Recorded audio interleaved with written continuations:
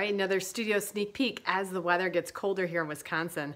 It has been really cozy to be down here in the studio making art and Jason has another really cool piece that he is working on.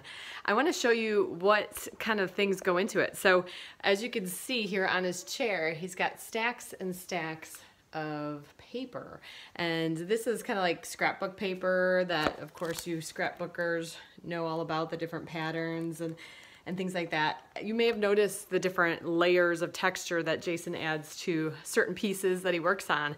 So he looks through all of these, you know, and he gets inspired and every once in a while they end up as a part of his work. So here is a piece he is working on and you can see that he picked a piece of paper and put it down on this wood block before he starts to paint.